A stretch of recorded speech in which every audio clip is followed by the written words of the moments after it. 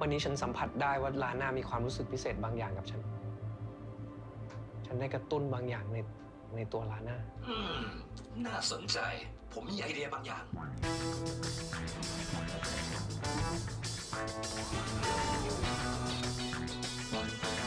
เชื่อมต่อกับเคโนแล้ว เธอกำลังส่งข้อมูลจากลาน่ามาให้ จากการวิเคราะห์ เราพบว่าสิ่งแรกที่ควรทำคือการพิสูจน์ว่าผู้หญิงคนอื่นไม่ได้เห็นนายเป็นผู้ชายแห่งสวย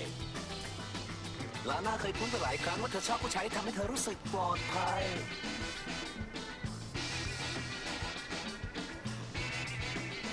ส่งของมีค่ามา เร็ว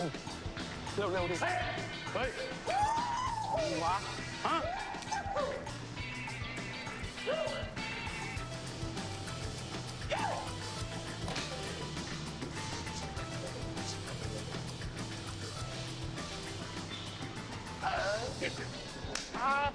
เดี๋ยว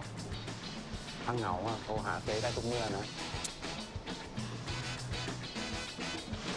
เคโนะรายงานมาว่าผู้ชายในฝันของลาน่าเป็นคนอาร์ตอาร์ตดังนั้นเขาจะต้องโดดเด่นในเรื่องศิลปะ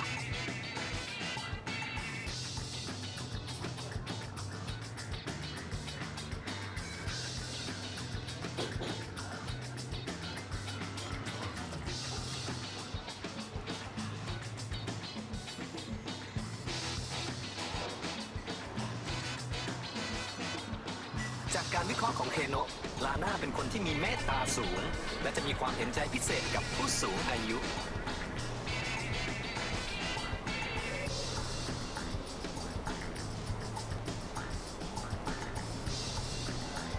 ระดับความสนใจของลาน่าในตัวคุณ